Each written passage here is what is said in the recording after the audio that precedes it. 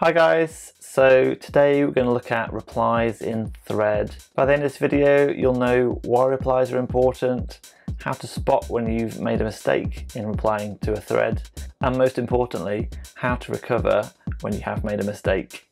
I'm Gavin Jones. In my day job in a Fortune 500 company, I'm in charge of Teams training and these tips that we've got coming out on YouTube every Tuesday are just some of the struggling points that we've seen our users have even after training. So hopefully you'll find them useful as well. Remember to hit the subscribe button and the little bell icon so you get notified every time we get a video coming out, which is every Tuesday. And without further ado, let's get into looking at replies in Thread.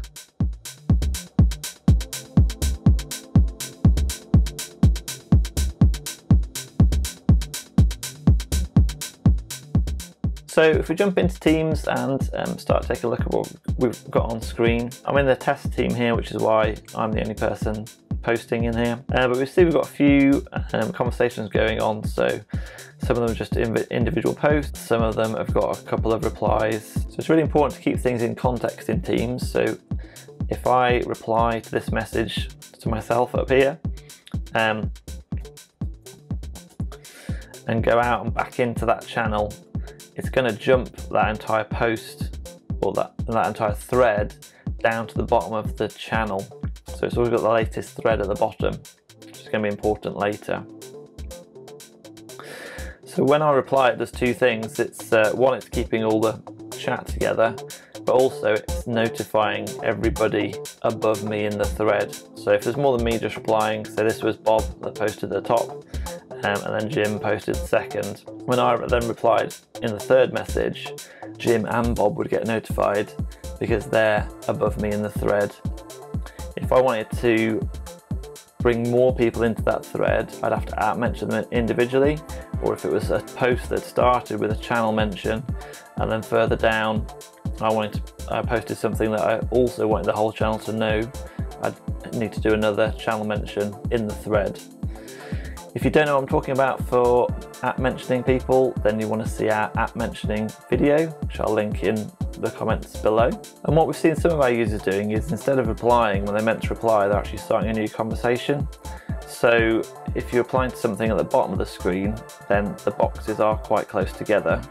Um, but Teams always try to help you out. So when you're doing a reply, obviously you need to click the reply button, um, which people do miss and then it says reply and that you're replying. If I type a new message, one it says type a new message, and if I click in there it says start a new conversation. So if I meant to reply to this thread here and start a new conversation instead, then you can see that it's not a reply because the, one there's a gap between what you've posted and this thread um, and also it's not indented underneath anything it's a brand new message there so people have been doing that by accident and not realizing why it's uh, not a good idea.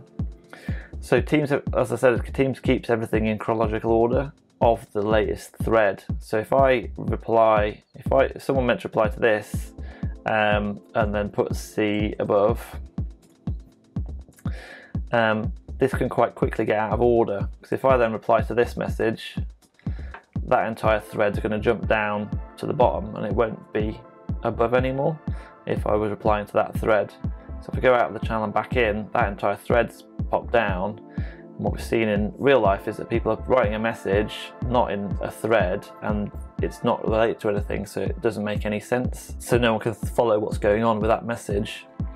Um, worse than that is if you do a new message without mentioning anybody, no one's going to get notified so if I meant to reply, I don't need to do an at mention if all I want to notify is the people above me in the thread. If I started a new message, no one's going to get notified uh, because you're not posting into that thread. And then even worse than that, you can create a split thread. So then if I did have this thread and these two messages, the next person coming in that wants to reply doesn't know whether to reply to this one, uh, this one or this one. So I might get notified about one, someone else might get notified about another one, assuming these are different people posting.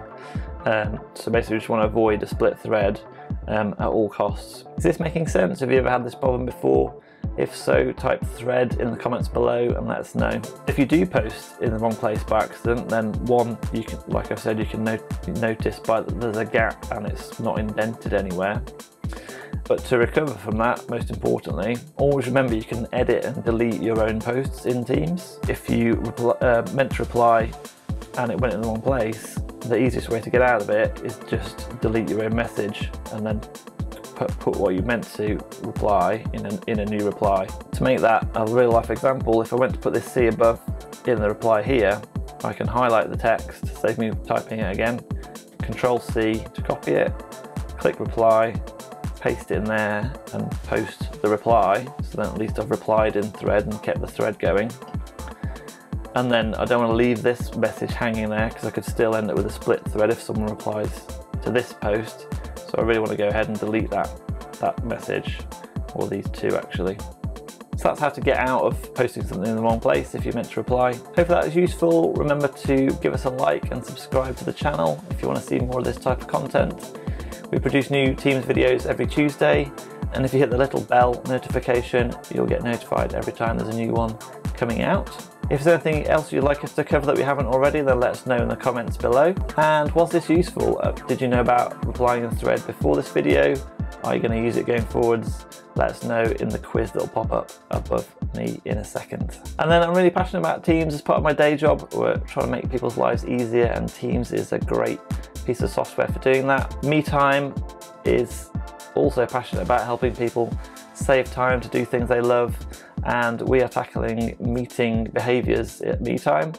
We've got a really simple app um, which you can check out at meetimeapps.com and uh, we'd really appreciate if you went and had a look and find out more. Link in the comments below if you want to know more about that. So thanks for taking a look at that video and I'll see you in the next one.